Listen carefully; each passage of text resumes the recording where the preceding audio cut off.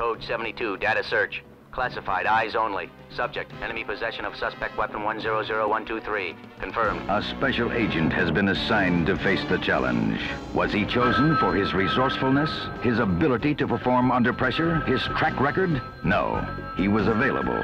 Hey, your boot's ringing. Oh, is that my boot? I thought it was yours. I think I'll take it outside. It's Maxwell Smart, Agent 86. Hello and welcome to another episode of the Celluloid Zeroes podcast. I'm your co-host Mike Carlin, and along for the ride is your other co-host Jim Carlin. Say hi, brother Jimmy. Hello, everybody. It's uh, episode 11, Mike. Yeah, Episode we're back. 11. We're back. I'll remind you that uh, Jim and I saw a lot of movies as kids, and we are cursed with remembering some of them, just like the one that we're reviewing today. On Celluloid Zeroes, we take a deep dive into a movie from our childhood that we liked back in the day, but through the lens of our adult eyes, we realize it's pretty freaking terrible. Uh, today's film, Jim, would you like to introduce today's film to us?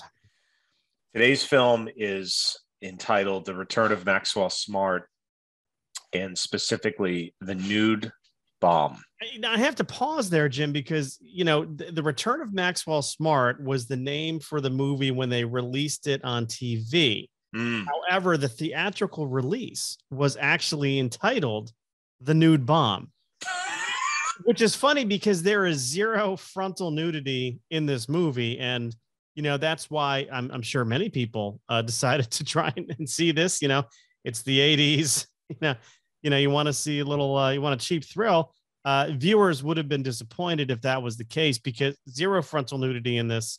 Um, there was a uh, you know a couple of scenes where where things were cleverly hidden. Um, we'll talk about that in a little well, bit. Mike, Mike, there may have been an absence of, of frontal nudity, but I think the bomb moniker is probably pretty accurate. Well, The bomb, you know, if a movie has the word bomb in the title, there's probably a good chance that it could be a bomb itself. I mean, this was this was a uh, this was a bomb. We we did. I mean, in fairness, we did like this movie as kids. But actually, before we before we get into uh, the movie, now this movie came out in 1980s. I just wanted to just talk about the 80s and and just because I think it's important that we put these movies in context. You know, the context of where you know where, where we were in our lives and, and kind of what's going on in culture in the 80s. Now, you and I would have been probably six six years old, five or six, depending on. I think this movie came out in April, so you know, chances are we were five. Um, Yeah. we were born in August, so we're five years old. You know, our frame of reference for movies during this time. Yeah, we've got Airplane. Certainly, I think we we had. Um, uh, your dog uh, wanting to chime in apparently. We, we've got we've got some gusty winds outside, um, and I, w- I wish they would have knocked the cable out last night when I was watching this thing, but sadly they didn't. Uh, so she just responds to the exterior noise. Sorry. so we've got um you know we've got a frame of reference you know comedies coming out during this time we have raiders of the lost ark was was a movie that came out i believe during the same year uh i think empire strikes back came came out so we had seen a couple of movies and, and now we're sitting um sort of as five year olds about to watch a movie called the nude bomb now how mom and dad let us see this movie i'm not sure uh we probably saw it if memory serves with the turco family and I'm sure we've mentioned the Turcos before. We used to see a lot of movies with them. Uh, Guy was, you know, unbeknownst to us at the time, kind of like a low level gangster, high level con, con- artist. Yeah, yeah, he was mobbed up or some capacity, There right? was, some, there was there was something going on there. Well, You you're still buddies with with the kids, right? I mean, I know, um, I know one. I won't mention the name, but I know uh, one of them through through the industry. Kind of work in the same industry. Got it, got it. We, Okay. we shared a, uh, we shared a client in common. didn't follow in Dad's footsteps, thankfully. No, no, and he I think he fully admitted. I think he even said to me once, he's like, "Yeah, I think my my dad was kind of a jerk." Those would be concrete footsteps, I guess. but Jesus. What I remember about this movie was sitting in the movie theater, and one of the the coming attractions was for The Shining, oh. and which also came out in 1980. I remember being like scared shitless, like I wanted to run out of the movie theater because I was so scared to death. Just just that attraction for The Shining was was you know scary. That movie still freaks me out to this day. Don't like it at all. Don't like it. Well, I, I will say the book is better, um, but uh, still, I mean, that I, that actually put me off from actually wanting to go to the movies as a kid. I'm like, I, I would like. I remember mom like took us to the movies once, and, and I I remember like asking her to call the movie theater to make sure that the coming attraction for The Shining wouldn't be played. Um, Mike, as terrifying as The Shining is, um, I mean, would you let that Stephen King near a school? Let him like poke around the playground a little bit? No. uh, you know, having never met him, Oh, uh, but back in those days, he was pretty hopped up on, um, let's say, pharmaceuticals, which were hard as nails to the cuticles. right. Very good. to do is read read the end of it, where there's basically a gangbang of a 13 year old. Um, you know, so people Yeah. lose their innocence and the clown goes away. You know, oh, uh, God. I mean, spoiler alert, that's kind of what happened to the kids, and uh, and it that did not make it to the uh, to the to the reboot. Um, no, it's the cutting room floor, so to speak. but I'm pretty sure he was on a four day coke bender. yeah, well, Yeah. uh, Stephen. Oh, yeah, I yeah. mean, you know, love love love Stephen King's writing. Um, but yeah, no, he's yeah, a little, little creepy. But um, hey, we're all a little bit creepy. I'll tell you what's creepy. Um, why we like this movie so much as kids. Yeah, I, listen. Um, you want me to just give like a, a two minute synopsis because I, you know, Yeah, I that'd be great. All right, so th- this this effectively is a James Bond spoof. I mean, it it it it uh, Maxwell Smart was a fictional character. Originally came out uh, a television show of, of of that title in the '60s, and probably had like a four or five year run on TV. Mike, I don't really remember, but it was a, it was a comedy spoof on the kind of James Bond secret agent story. And, And, Don, and- and if you remember, Mel Brooks was behind it. I mean, he was the one of the co-creators of this. I, I don't have any trouble believing that. I, I didn't know that, but I still trouble believing that. you would have trouble believing he had anything to do with the movie, which he did not. Yeah. Oh, okay. Okay. So the TV show was Brooks. The movie was, uh, yeah, I'm sure he distanced himself from it. But I mean, essentially, Don Adams is the actor. Um, probably when this movie came out in 1980, he must have been in his late 50s. Uh, you know, he was born in 19 in the 1920s, so he's he's a decade older actually than Dad, and, Don Adams is since deceased. But um, yeah, he plays Agent 86. Uh, they all have numbers. So Agent 86, Agent 22, whoever the guy is that, that's in the desk drawers and, and then the toilets. I don't know. But essentially they they they are a government, they're government agents. I mean, we were led to believe, you know, CIA or some sort of clandestine service. And the the branch chief is is played in this movie by a guy named Dana Elcar. And essentially the movie centers around Agent 86 and his quest to stop the maniacal plot of an organization called KAOS, which, for anyone familiar with the James Bond films, KAOS is essentially a Spectre like organization. Now, And- did KAOS stand for anything, or was it I, just? I don't know. That's a good question. Was it an acronym for something? It might have been. I, I don't remember. All I know is the head of KAOS was a guy who was dressed head to toe in pantyhose, and he had Mike. Did he have thimbles on his had- fingers? He had sewing thimbles on his finger. uh, we're led to believe he was obsessed with with clothing and fashion because his whole plot for the movie was to detonate uh, a, a weapon called a nude bomb, which would effectively remove all the clothing from people, may, maybe all the textiles from the planet, and everybody would be beholden to him for their clothing unless the world paid him something like five billion dollars a month, which you know in 1980s money was that was real money back then five billion now it's like a tick on the debt clock right but back then He's five billion was real money He's a maniacal, like Tommy Hilfiger, trying to get everybody to wear his clothing designs. Basically, that's what it's all about. yeah Right. I- I- it's just it's bizarre and and and in order to accomplish his plan obviously he has the nude bomb but he also creates uh cloning technology. Why does he create cloning technology? Because how are you going to clothe 5 billion people? You're going to clothe 5 billion people by cl- but you're going to clothe 5 billion people with your outfits by by cloning a, a world famous like seamstress. That that's the plan. Don't don't create a machine mike like an assembly line machine or, or or a robot machine that can create billions of articles of clothing actually actually clone a a famous italian perhaps seamstress. This, I mean, boy, I, to say this plot held together by a thread, like I don't know, maybe that's generous, but anyway, so Maxwell Smart has to overcome all kinds of obstacles, you know, the all kinds of issues and challenges. He's got somebody working inside his organization who's feeding information to KAOS and sabotaging his efforts to get to the bottom of the plot. Eventually, what does he do? He's able to locate the secret headquarters of KAOS, which is located on an island. Um, the entryway to the headquarters is actually a zipper. Yes, it like is. like you're unzipping a, a gentleman's trousers, a zipper. They they penetrate quote unquote the mountain layer. Um, they get into a big fight with with the head of KAOS and his uh, and his cloned uh, you know counterparts, and uh, and eventually they succeed and they stop the nude bomb from detonating. Except I think it goes off once at the end, and Agent 86 and Dana Elcar and and the other Agent 22 are running down the road naked. Yeah. that's that's the movie. Um, I, Now- I don't know if I did it now, justice. I, think I, did. Um, I think what we should have done was was given everyone a spoiler alert there because Mm. gosh, I mean, for all the people who are just going to run out and see this movie, uh, you know, Sorry. they, they should have been warned. You know, Yeah. um, Yeah.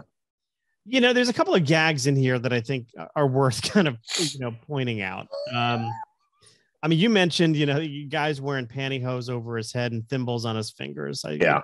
to me that was it's kind of funny and i always wondered i mean did he use those pantyhose remember the ones that came in an egg He Yes. those Yes. were, were they control top i mean I don't know, but and he had that like yarmulke like thing on his head and and i just realized after kind of rewatching this it's to, to, it's to hide the seam you know i'm Yeah. sure it's to hide the seam yeah, the thimbles on the fingers yeah. i mean our, our grandmother was a seamstress we knew what thimbles were but You know, it was a little weird, Mike. I, you know, it's it, it's 1980, right? So the the world is is a little different. I mean, you know what's weird about it? Because I know we've talked about movies from this this time period before. I mean, it's basically been the whole podcast, but even though it was an earlier time when in some ways we were like a little more buttoned up we were a little bit more restrained in certain respects you know we had manners we went to church we were respectful of elders a little bit more than we are now like all that stuff but on the other hand like there was a sense of irreverence i mean certainly in hollywood certainly in movies uh and and there was there was a, a, a dearth of taboos I mean, this is a guy who's basically dressing in like female pantyhose, you know, and I'm not suggesting that's like cross dressing or being feminine, but I mean, I don't know. It, it's a little bit of a third rail these days. Like, you're not going to make a movie spoofing somebody wearing, you know, female like garments uh, anymore. And, um, you know, so just, I don't know. Uh, it- it's just, it, it's a weird, it was, it was a very weird world back then. But on the other hand, like if you fast forwarded 40 years and and the people back then looked at what the heck's going on nowadays, I mean, they'd probably be running back to 1980 naked down the road. Get me back to 1980, please. please you know and I, I you know one thing that i love about this is and i think this was a running gag in, in the original get smart series was was the shoe phone uh, back you know Right. back in 1980 and certainly when get smart was was on i think it was at the 60s Mhm. um, we didn't have a, a dream of of cell phones or smartphones you know so Yeah. the idea of concealing a phone in someone's shoe i mean it's kind of cool kind of fun it was kind of funny now they they kind of uh, evolved that uh, in this movie to also have a stapler phone uh, so you could stapler that's Do you remember what he says? He says to Carruthers, he says, "Well, does it does it function as a stapler?" And he says, "No." So indignantly okay. he indignantly says no and, Yes. and smart's like well you better you better work on it a terrible don adams impersonation of course Oh God. You know goes on um you know in in in years after this to, to be the voice of inspector gadget on Oh, that's that's a good point. He Remember. was Inspector Gadget, Don Adams. Absolutely. go go gadget skates Yeah. someone should have go go gadget time machine Oh my gosh. not green light this movie Yeah. But Yeah. I don't know. I mean, You know- any well, you you you lead, Mike, because No, no, no. Um, you know, it was just there were there were certain gags in it that I think, you know, from the eyes of kids, we we thought were kind of cool, like the idea of a, of a driving desk. You know, the desk Yes, yes. driving out of the office. Of course, it runs on ink from Saudi Arabia. Well, that was the Mike. That was the great line because he said, "My God, you've solved the the energy crisis, right?" Because remember when the movie's being made, Yeah. like people are waiting in line at gas stations for for hours just to try to get a drop of gas because Saudi Arabia is cutting off the oil supply. So this movie's taking a jab at the Saudi Arabians. Any movies out there taking a jab at Saudi Arabians now? Is No. anyone jabbing at them? Like maybe if Tom Cruise is swinging on a building, you know, beating up some Arab guys or whatever, maybe um, he can get away with that because he's so weird, even though his, his movies are fantastic. But you know, nobody nobody's poking at the Saudi Arabians. But back then, oh my god, I mean, Oh, well, yeah. I mean, if if I remember, like growing up during this period of time, our, our mailman was was on a bicycle. Like they had to. yeah, U.S. Post Service was not letting them use, uh, you know, the, the mail vans. Um, yeah, So they yeah. could so they could conserve gas. Um, good right. point. No, no jabs at uh, at the Saudis now. Um, no no jabs at the Chinese now either, uh, because Right. they, they own so much of Hollywood. If I remember correctly, and, and you keep me honest on this one, Jim, when they remade Red Dawn, Okay. originally um obviously they, they went away from the russia storyline. Originally it was going to be china that invades the us however um the chinese had just purchased a big stake. I think it was in sony studios if i'm not mistaken. Oh yeah, could be wrong. Um so they had to re redo it to the, i think the north koreans. Um not that i saw the remake of red dawn because i mean why you know the, red dawn will never be on this podcast because it's such a great movie yeah. I don't know about the second one. I never saw the second one, didn't- but I I- it does it doesn't surprise me that they sanitized it.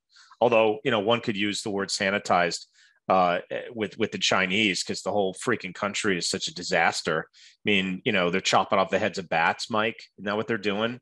And and and spreading viruses all over the place or creating I them in labs. i think that's ozzy osbourne i think he was no, but I mean the wet markets. I go, oh, that's so disgusting. There's a bunch of bunch like it's just. I mean, I God bless. I, I'm there's probably there's billions of Chinese that are living under that crazy regime that wishes they could get the hell out of there.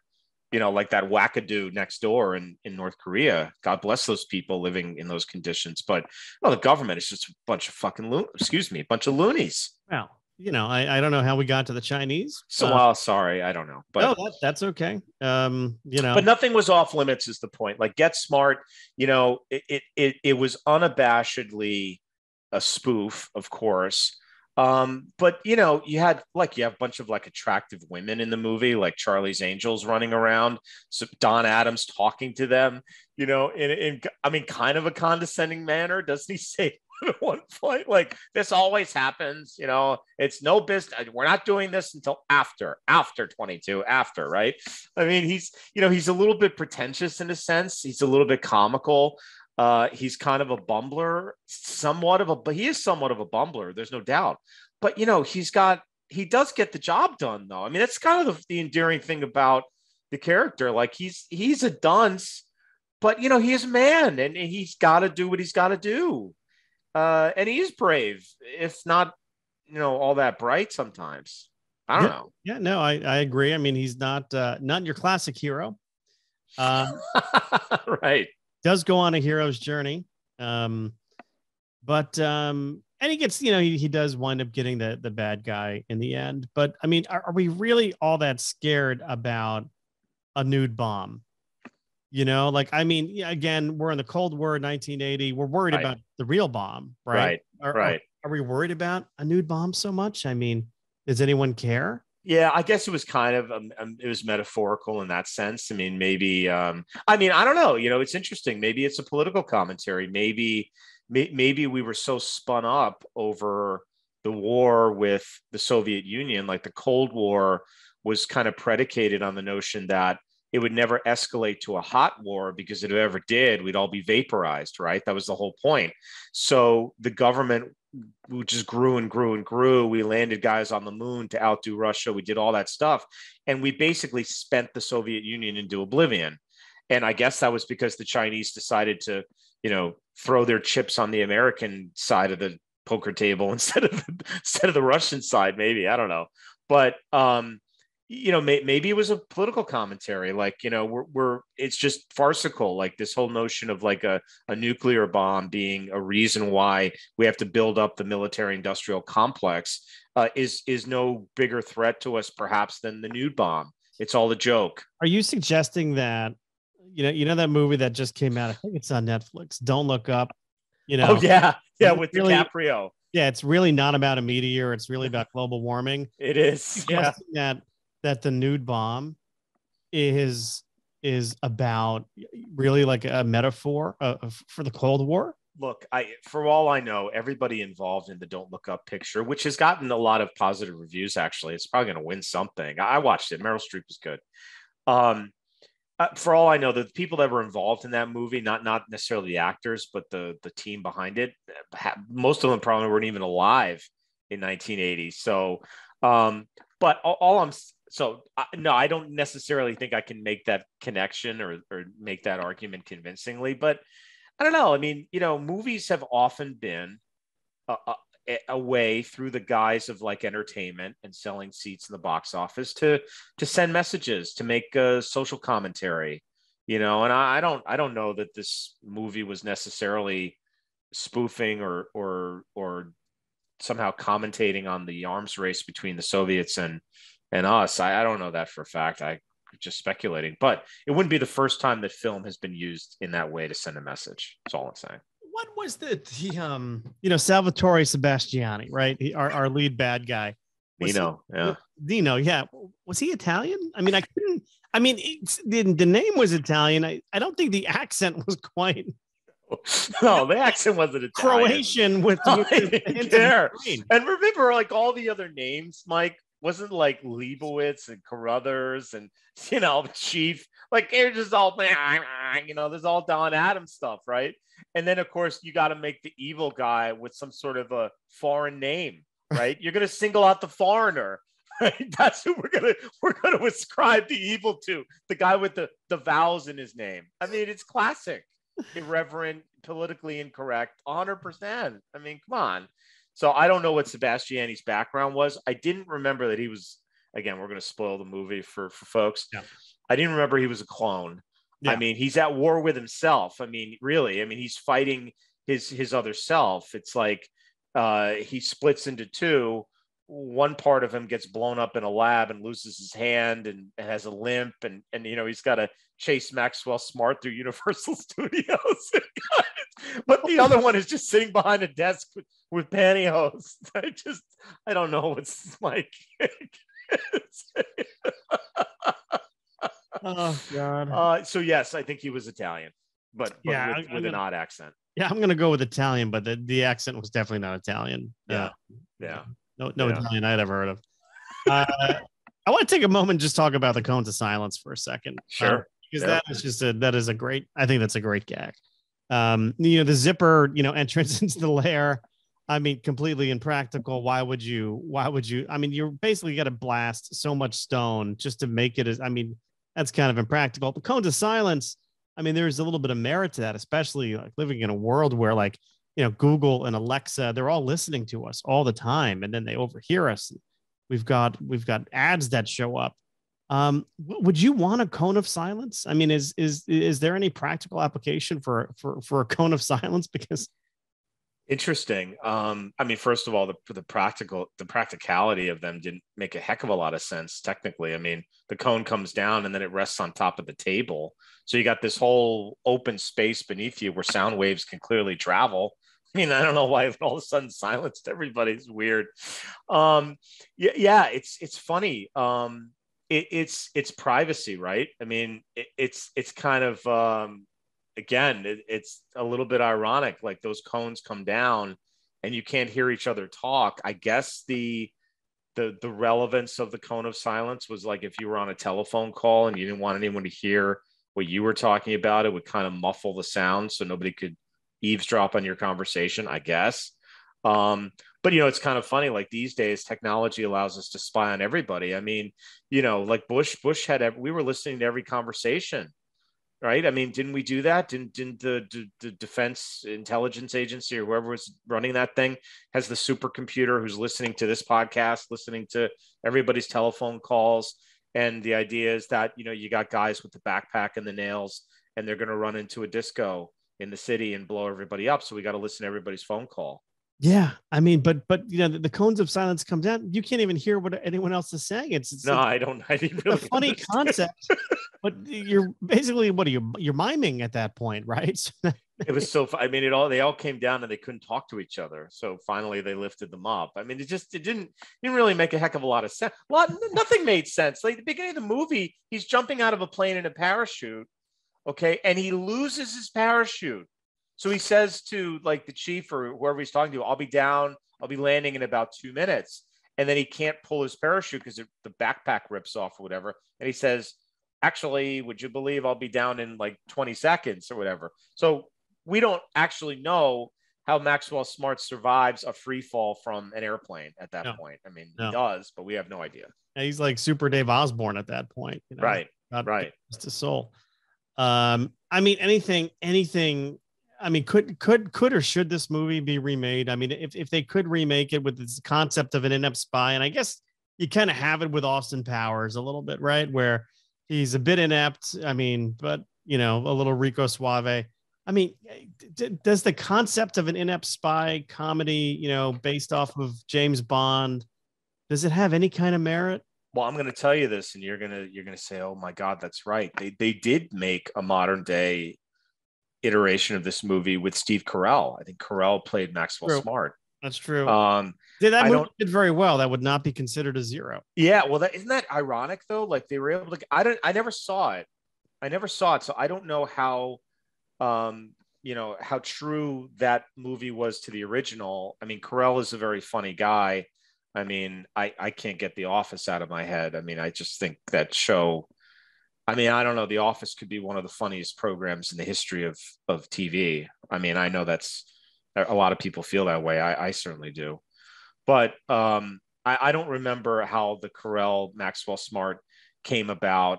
I just, you know, it, it's funny because as bumbling as he was in this movie, he still had a little bit of swagger to him, didn't he? Like he still, 22 still wanted Maxwell Smart. Um, Maxwell Smart was still able to impress the ladies. Um, in fact, they were almost endeared by his mannerisms and his behavior and the things that he said.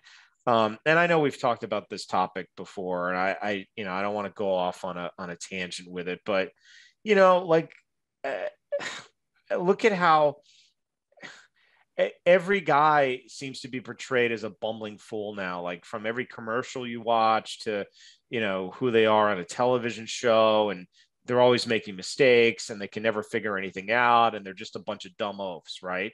I mean, they've, you've gone from like Gordon Gekko taking over the world and smacking everybody around with his bravado to like these little like Bravado.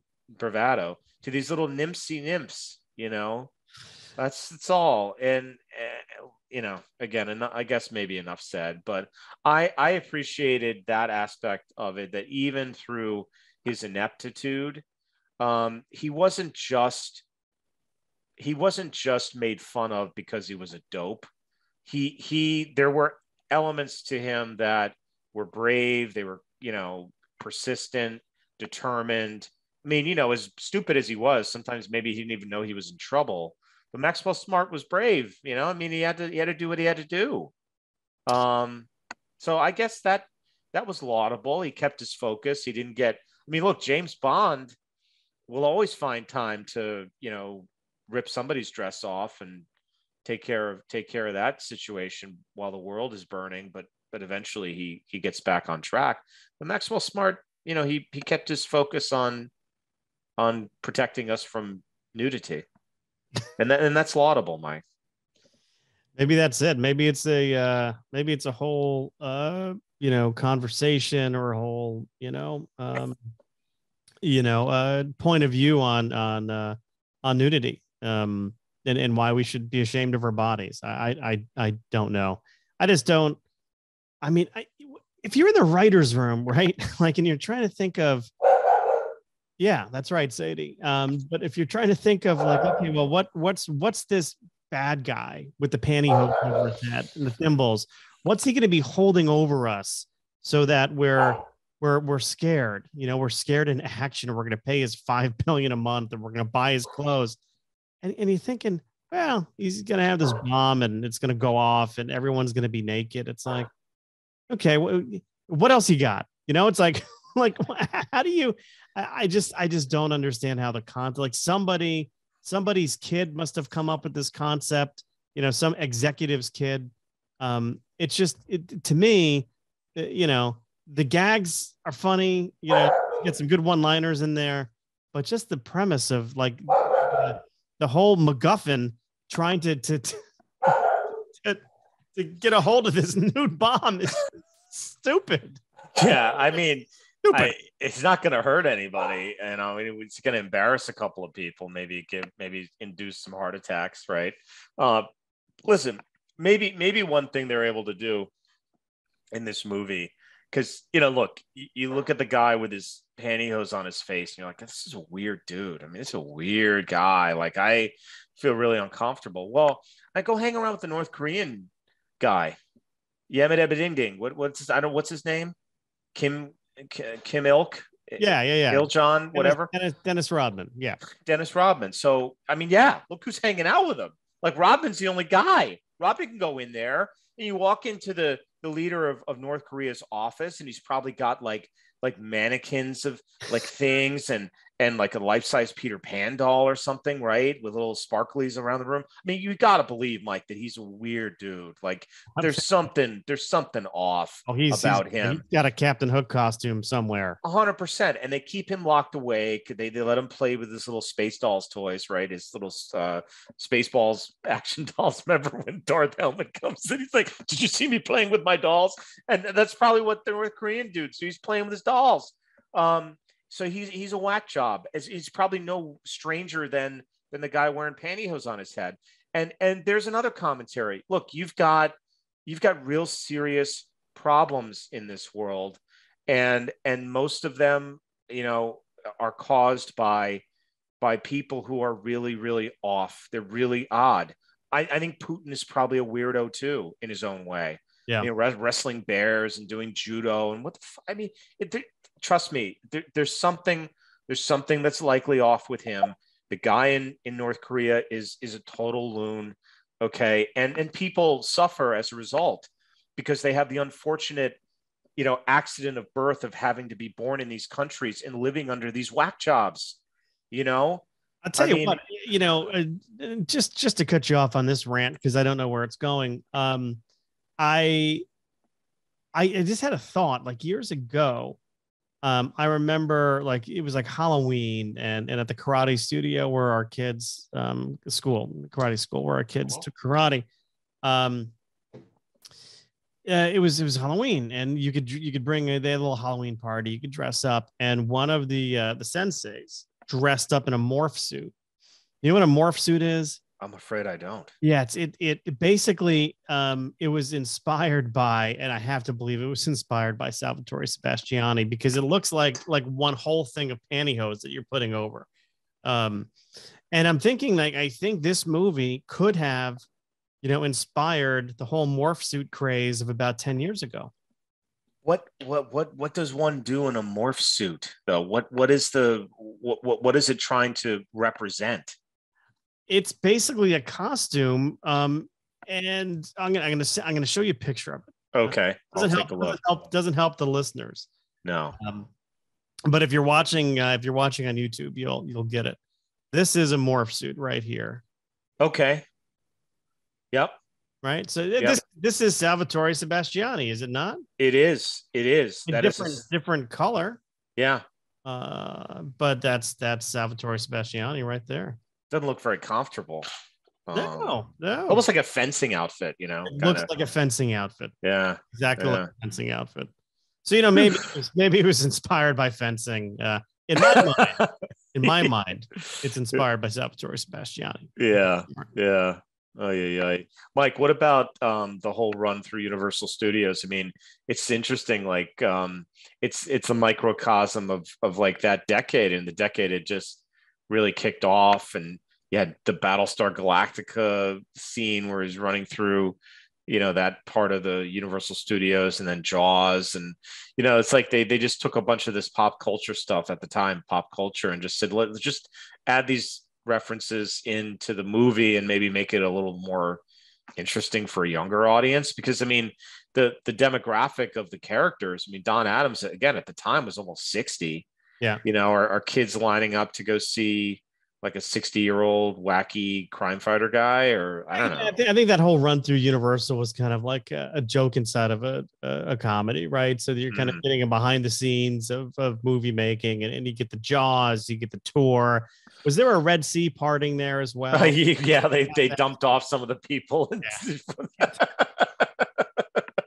well which which did have a little bit of a mel brooks kind of like vestiges you know maybe an ode to brooks because they have to bring that up you know? Yeah.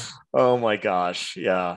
Uh, i don't know listen um it was a stupid silly movie. It's really even hard to derive any any virtue. Like uh, how do you come up with even an argument? This this is a tough one. Um you know but it's not a lot of defense of this one. It is what it is. Um, you know, I'm sure the the original creators, you know, uh, Mel Brooks and, and Buck Henry, I believe. Uh, I believe they're probably, you know, uh, Mel Brooks is not in his grave yet, but uh, No, no, I think Mel's still kicking in his 90s. yeah, right? yeah. But I, I can't, I can't imagine he's looking back on that movie saying, uh, you know, God, I, I wish I had something to do with it. So No, but a but a brilliant comedic mastermind that Mel Brooks. And I just wonder, like I, you know, I know we've talked about this before, but guys like that who made their career on just shocking people. You know, I was watching like um some clips from a Richard Pryor stand up and, and even like an Eddie Murphy stand up from back in the 80s. And I mean, I can't even imagine if if one of these guys were out there now um, saying the things that they were saying, even about their own background and their own ethnicity necessarily. I don't honestly, it used to be like if you were part of a racial minority, as an example, you you could you could talk about you know issues it, within that demographic community and spoof it all you wanted and nobody could touch you right because that you were just talking about your own i hate to even say those words but you know your own demographic Yeah.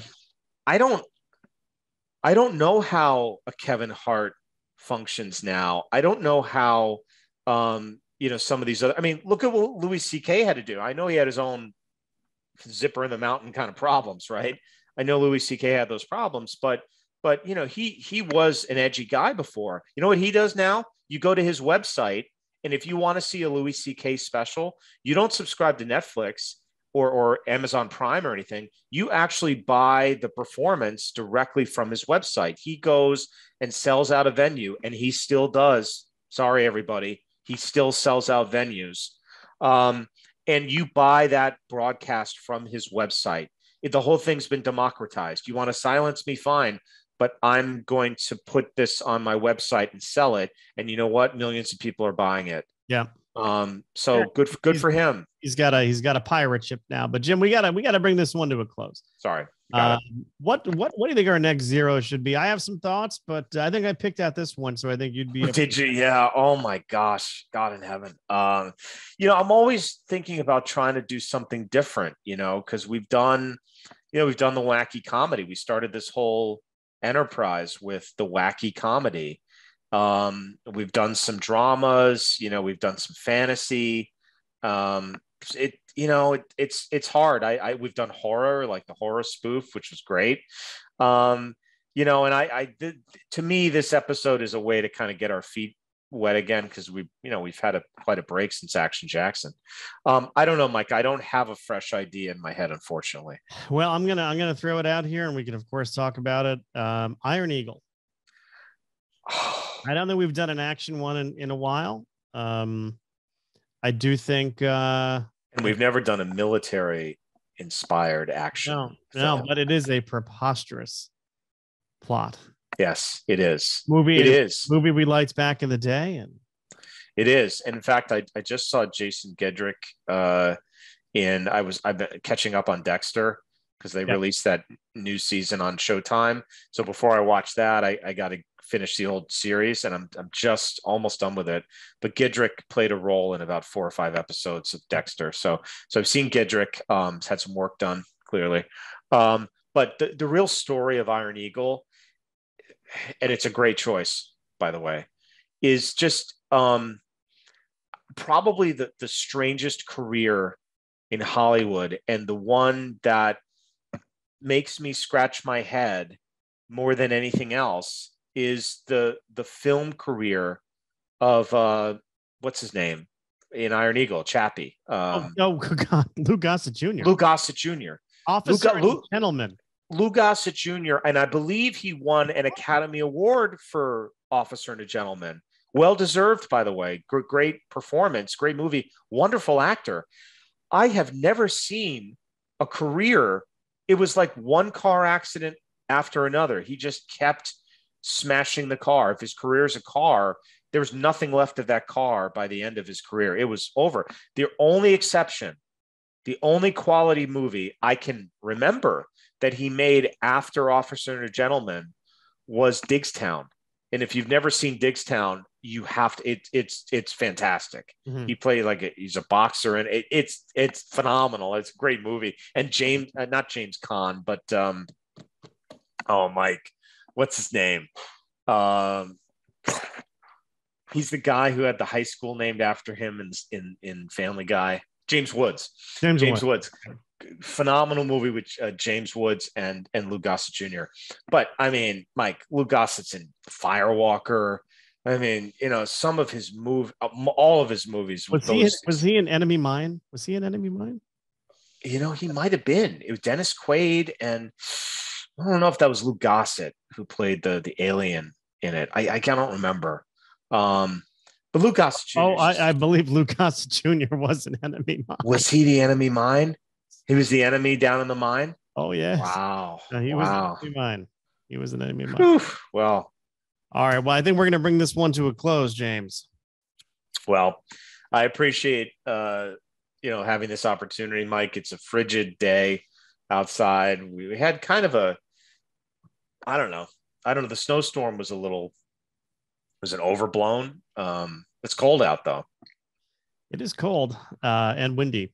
Yes, it is cold and windy. But I, I don't think our listeners need need to hear the weather in Connecticut. So no, because well, they're all over the world. But uh, but great choice. Looking forward to talking to you about Iron Eagle, and um, you know, all good. Until next time.